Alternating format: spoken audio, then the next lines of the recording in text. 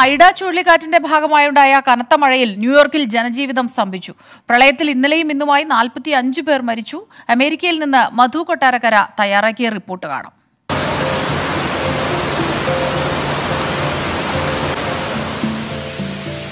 Ida ചുഴലിക്കാറ്റിനെ തുടർന്നുണ്ടായ പ്രളയക്കെടുതിയിൽ ന്യൂജേഴ്സിയിലും ന്യൂയോർക്കിലും കനത്ത നാശനഷ്ടം. ഇതുവരെ നാൽപ്പത്തിയഞ്ച് പേരുടെ മരണം സ്ഥിരീകരിച്ചു. ന്യൂയോർക്ക് നഗരത്തിൽ മാത്രം പന്ത്രണ്ട് പേർ മരണമടഞ്ഞു. അഞ്ഞൂറിൽ പരം കാറുകളാണ് ന്യൂയോർക്കിന്റെ തെരുവീതികളിൽ ഉപേക്ഷിക്കപ്പെട്ട നിലയിൽ കണ്ടെത്തിയത്. നാഷണൽ ഹറിക്കെയിൻ സെന്ററിൽ നിന്നുള്ള മുന്നറിയിപ്പുണ്ടായിരുന്നെങ്കിലും പ്രളയത്തിന്റെ ശക്തി കണക്കാക്കുന്നതിൽ ഗവൺമെന്റുകളുടെ കണക്കുകൾ പിഴച്ചു. മണിക്കൂറുകൾക്കുള്ളിൽ ന്യൂയോർക്ക് നഗരം പ്രളയത്തിൽ മുങ്ങുമെന്ന് പ്രതീക്ഷിച്ചിരുന്നില്ലെന്ന് New York state governor Kathy Hochul പറഞ്ഞു.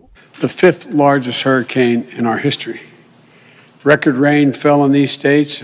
New York recorded more rain yesterday. New York നഗരത്തിൽ മേയർ അടിയന്തരാവസ്ഥ പ്രഖ്യാപിച്ചു ന്യൂജേഴ്സിയിലെ എഡിസണിൽ ഇന്ത്യൻ വംശജനായ ധനുഷ് റെഡ്ഡിയും പ്രളയത്തിൽ മരിച്ചവരിൽ ഉൾപ്പെടുന്നു എന്നാൽ ധനുഷിനോടൊപ്പം അഴുക്കുചാലിലൂടെ ഒഴുകിപ്പോയ രണ്ട് സുഹൃത്തുക്കളെ രക്ഷപ്പെടുത്തുവാൻ കഴിഞ്ഞു റഡ്ഗേഴ്സ് യൂണിവേഴ്സിറ്റിയിൽ നിന്ന് വീട്ടിലേക്ക് മടങ്ങുകയായിരുന്ന ഇന്ത്യൻ വംശജയായ മാൽദി കാഞ്ചിയെയും പുത്രിയും ഒഴുക്കിൽപ്പെട്ടു 10 ton tree just fell on my car. ഒഴുക്കിൽപ്പെട്ട മാൽദിക്കായുള്ള തെരച്ചിൽ ഇപ്പോഴും തുടരുകയാണ്.